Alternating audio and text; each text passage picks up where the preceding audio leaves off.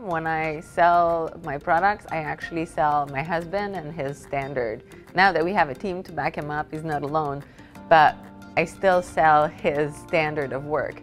That's what people are here for. That's why clients stick with us. We have clients that have been with us for 10 years and they're not going anywhere else. Or some of them have actually gone elsewhere and then came back with us because they just like that standard.